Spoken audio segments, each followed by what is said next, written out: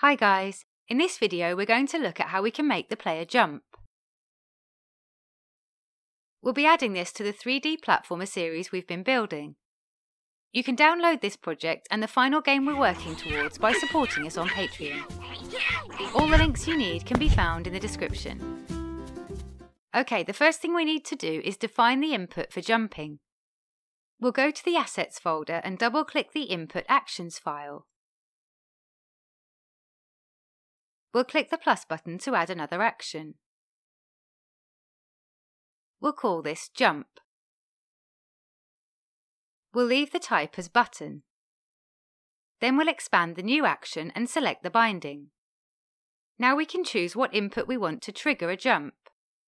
In the Path drop-down, we'll select Gamepad Button South. This will bind the south button of the gamepad regardless of the model. So for example, if we use an Xbox controller, it will be the A button, but if we use a PlayStation controller, it will be the X button. We'll tick the Gamepad checkbox to say that this is for the gamepad control scheme. Next, we'll add a binding for the keyboard. We'll click the plus button and select Add Binding. Then we'll click the Path button. We'll click Listen and press the spacebar. Then we'll select this to assign it. For this one, we'll tick the keyboard and mouse control scheme. So we've now configured that we want to trigger the jump when we press the spacebar or the south button on a gamepad. Let's close this window and save when prompted. Next, we need to make use of this input. We'll navigate to the Player Scripts folder. Then we'll double-click to open the Player Input Controller script. What we're going to do is raise an event whenever the jump button is pressed that other scripts can listen to. We'll create a public event called onJumpButtonPressed.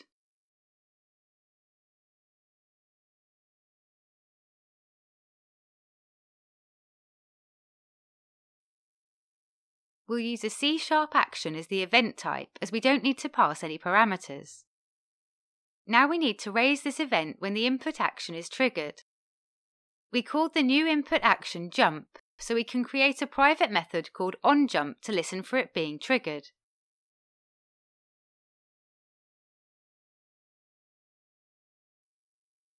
To receive the value of the input, we need to add a parameter of type input value.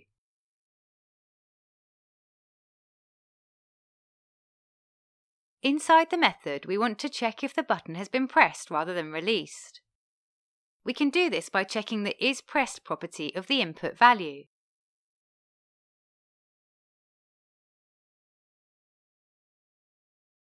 If it has been pressed, we'll invoke the event.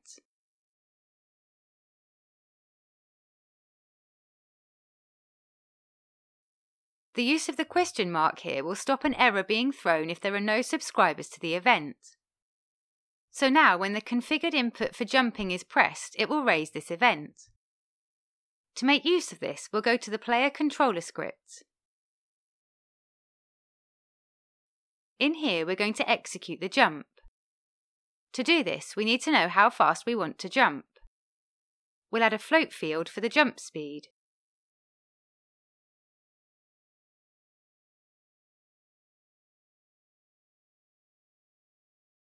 We'll add the serialize field attribute so that we can set this from Unity.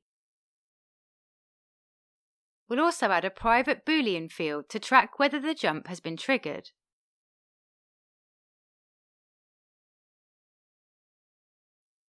Next, we'll create a private method that will be called when the jump button is pressed.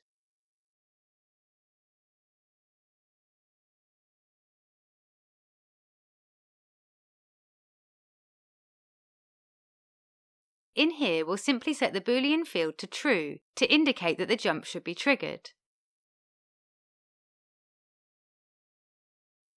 Now we need to subscribe to the Player Input Controller jump event and tell it to use this method as an event handler. We'll do this in the awake method.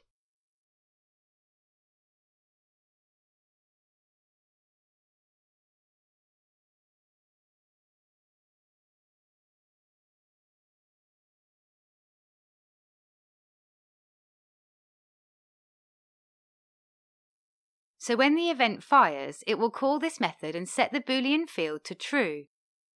Now that we know when the jump has been triggered, we need to execute the jump. We'll do this in the fixed update method.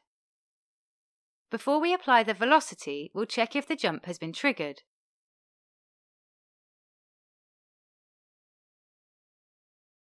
If it has, we'll set the y component of the velocity to the jump speed.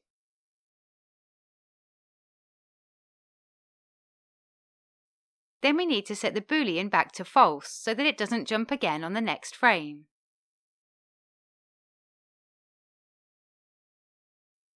So now if the jump button is pressed, we'll apply a positive speed in the y direction. Let's click here to save all our scripts and switch back to Unity. We'll select the player in the hierarchy. Then we'll go to the inspector and set the jump speed to 8. Let's press play to try this out. Now we can press the spacebar to jump.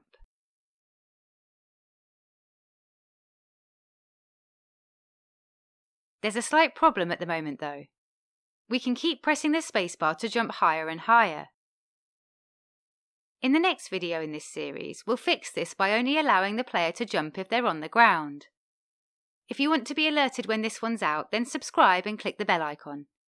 If you have any questions or feedback on this video, let us know in the comments. A big thank you to all our patrons, we really appreciate you helping to support the channel. If you'd like to help and also get access to the source code, you can find details in the description. Thanks guys!